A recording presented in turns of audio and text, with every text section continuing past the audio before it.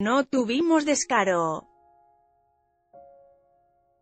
La quiniela mundialista del equipo de cultura colectiva News cree que no habrá sorpresas este miércoles en la continuación de la segunda jornada de la fase de grupos del Mundial en Rusia. Los integrantes de este HH equipo creen que Uruguay será el segundo clasificado a octavos de final y que terminará por eliminar a Egipto de toda posibilidad mundialista. Tú, piensas lo mismo, no hay variantes. Aquí nadie tomará ventaja porque nos fuimos con las probabilidades altas. Fotocultura Colectiva News, La Almaraz, periodista egresada de la FES Acatlán.